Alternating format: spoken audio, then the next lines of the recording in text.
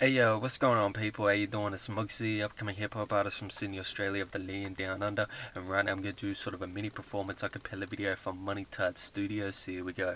Starting with keep on rapping. Look, this is my life and it's a battle within. Gotta survive even though I'm sitting to win. And all this rap music is about to begin because I might be the next white boy Eminem. So I open my door, get to the port airport, fight my way to the core cause I'm showing all of you how I'm willing to fight passing through the light. And I might make it if I don't fake it. Legends.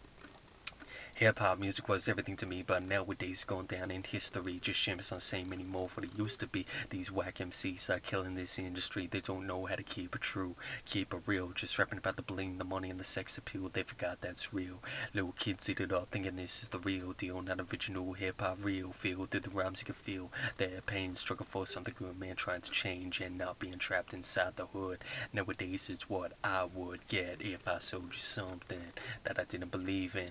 Keep it simple as a pimple. Shout out thanks again to Money Tight Studios. Check them out if you like those tracks. Support my movement at Mugzy. But most importantly, keep supporting real hip hop. Five elements knowledge and it don't stop for the rest of 2020. Gets no better than that, guys. All the best. Peace.